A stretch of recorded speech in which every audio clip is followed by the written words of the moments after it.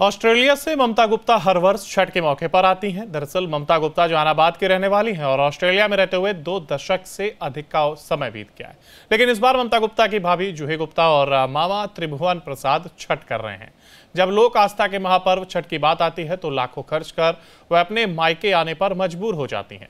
ममता गुप्ता ने कहा कि भाभी छठ कर रही हैं और इस त्यौहार को संपन्न हो जाने के बाद वापस ऑस्ट्रेलिया चली जाऊँगी।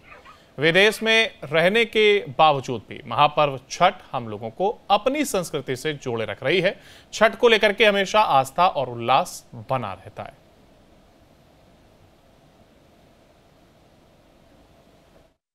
छठ पूजा अटेंड करने आई हूँ। कोशिश करती हूँ एवरी ईयर मैं आऊँ छठ पूजा के मौके पे। तो बहुत ही महान पर्व है ये। स्पेशली बिहार में बहुत ही धूमधाम से अच्छे तरीके से मनाया जाता है। और घर में होता है तो बात ही कुछ अलग होती है छठ पूजा की। तो हम्म, तो आप प्रति वर्ष जब भी छठ होता है कोशिश करती हूँ प्रति वर्ष आने की बट कभी छूट भी जाता है तो नहीं आ पाती हूँ बट इच्छा रहती है कि मैं अटेंड ज़रूर करूँ। और इस बार छठ में शिरकत करनी है? यस या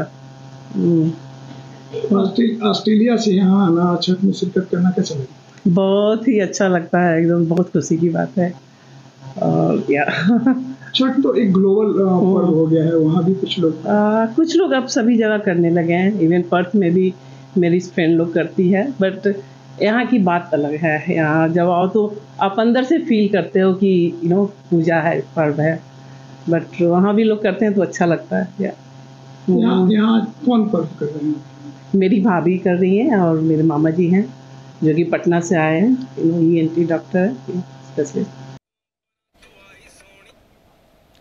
तो देखिए ममता गुप्ता जो कि छठ को लेकर के एक उनके अंदर एक उल्लास और यही वजह है कि ऑस्ट्रेलिया से वो खिंची चली आती है और उनका कहना है कि इस बार उनकी भाभी जो कि छठ पर्व कर रही हैं और इसके बाद ही वो दोबारा ऑस्ट्रेलिया वापस चली जाएँगी। हालाँकि छठ के लिए वो यहाँ पर आई हैं और हालाँकि ममता नहीं और तमाम लोगों के बीच छठ की एक विशेष महत्ता है।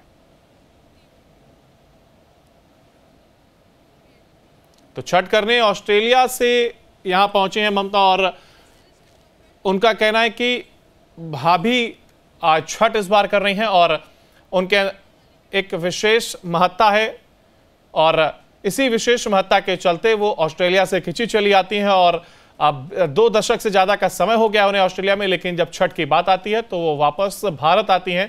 हालाँकि इस पर्व को करने के बाद वो दोबारा ऑस्ट्रेलिया चली जाएँगी। हालाँकि देखा जाए तो देखिए, छठ को लेकर के एक विशेष महत्ता हर किसी के दिल में, और अब तो बिहारी नहीं तमाम जगह छठ को सेलिब्रेट किया जा रहा है, और विदेशों में भी तमाम लोग इसे सेलिब्रेट करते हुए नज़र आते हैं।